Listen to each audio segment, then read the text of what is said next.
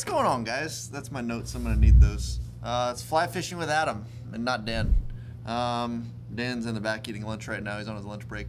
Uh, anyways, uh, we're gonna talk some fly fishing today. That's what I like to talk about. Um, we're gonna do the top six inshore flies. Six seems like a cool number. Most people do top five or three, so we're gonna be different and do six uh, or kick, depending on how you like to say it. I don't know. Um, yeah, um, we're, we're gonna start with six and go all the way to my top favorite. Uh, number six, the Deceiver, Lefty's Deceiver. Um, I mean, I don't know what else to say about it. I mean, it's great. You can tie it in just about any color imaginable. It's got some nice action from the, the hackles in the back. I've seen a lot of people use ostrich herl instead. Um, got a little bit more like squid-like action and just moves more. I don't think it's trying to look like a squid, but fantastic fly. I've caught tons of bass too on these, um, snook, redfish, trout. Um, I mean, it's just kind of an all around. It's almost like a MirrOdine. Um, kind of catches anything. Um, so yeah, number six. Um, number five is the gurgler. I know I got a disco shrimp. This that's actually a disco shrimp, um, but same idea. Top water, foam on the top. Um, this one's got like a sequin here, but same idea, you know. Sequin just helps it pop a little bit more water, make more of a you know a cupping sound, um, like a like a I don't know a popper bass lure or something like that. It's got the cup. It's kind of cool. But this is a fantastic variation of that fly. Obviously very shrimpy. Um, I gurglers in all kinds of different colors. Obviously, different variations. Add shrimp legs like this one and antennas. Um, fantastic redfish and snook fly. I mean, trout like to come up a lot to a topwater too, but I like these a lot in mangroves. Or if you're seeing tarpon, like little baby tarpon, come up and slurp air, you know. Um, doesn't sound like that, but fantastic for that. You're gonna get a lot of short strikes on baby tarpon, but I just love baby tarpon. Five. Four is the bend back. This is kind of a deceiver variation to it. This is a very, I mean, I guess you could tie this in all kinds of different patterns. This is a kind of a deceiver variation, but it's tied on a worm hook or swim bait hook, uh, unweighted. But you can, I've seen people do them weighted too, but they're probably not easy to throw. But um, almost totally weedless. I mean, there's no weed guard on it. It's just the way that it's tied makes it almost totally weedless. Pull it through grass, um, you know, pull it through mangroves. Um, it's it's, it's not really going to hook very easily. Fantastic fly. I've seen shrimp patterns tied with this. Um, I mean, all kinds of different redfish variations, the dark colors. Um, make sure you got some in your box. Um, I threw that so far. Uh, three, spawning shrimp.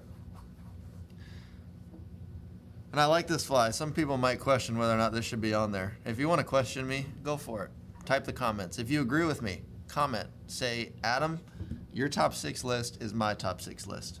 Do that. Say it. Anyways, spawning shrimp. This is an EP spawning shrimp. Uh, the reason I put this in there is because it's so versatile. I mean, it could look, it's got crab pinchers. It could look like a crab. Um, you strip real slow along the bottom. You're going to lay blades of grass over. It's going to look like a crab walking around. Um, you could do short pops with it, make it look like a shrimp that's snapping away. Um, this is a little bit bigger um, more of a R style, you know, Tampa Bay fly. That's our redfish are going to eat. Our redfish don't want itty bitty bonefish flies most of the time. Uh, but I mean, this is probably what most well known as a bonefish fly, but fantastic for redfish as well and trout. Spawning shrimp. Almost look like Salt Bae. Um, Clouser's got to make the list. It's making coming in at number two uh, is the Clouser minnow. I mean, this has to be on every top flies. I don't care if it's top three; it's got to be on there. Um, it's in my top. It's my second one. So, this is another one you could tie in almost any color variation. You could add. I've seen some people add shrimp eyes to it. Um, add other things. Uh, it's, it's a giant crazy Charlie, pretty much. Um, not even giant. I mean, I guess it's just the way it's tied. But anyways, um, this would be a fantastic redfish color uh, for around here, uh, any shape and size. It's got a lot of up and down movement from the lead eyes on it. Uh, you can tie it with bead chain too to make it a little lighter um, and make it whistle when you go through the air, which is always fun. Um, yeah, the Clouser minnow. It's got to make it. All right, number one.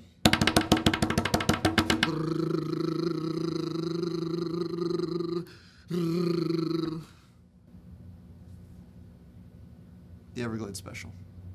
Behold, my top fly. It's amazing. Um, it's an EP minnow kind of profile. Look how much that looks like a mullet. I mean, a mullet, uh, creek chub. Um, I mean, could even look like a white bait maybe if you want to get creative, you know. Um, if you're throwing any stained water, any mangroves, um, this needs to be on the end of your line probably. Um, it just it looks so good. It's got a real wide profile. If you look down the um, the head like that, pushes water like a mullet. You know, it'll ride fairly high in the water. Um, this is kind of one of those too. You don't see in that many different colors. I mean, this is kind of the classic color that you know olive with the white underneath and then a brown head. Um, it's a chub color. Um, fantastic fly. You definitely need some. So you know what? You should come get all of these, put them in your box. Um, like I said earlier, argue with me. If you don't like my list, just comment. You know, tell me what you think uh, should be in your top six flies that should be in your box all the time. Uh, please like the video, that'd be great. Subscribe to the channel. Um, stop by and see us. Argue with me in person. Be a be a real man and come in in person and argue with me. I'd be more than happy to do that. Um, but yeah, anyways, that's it. Everyone special.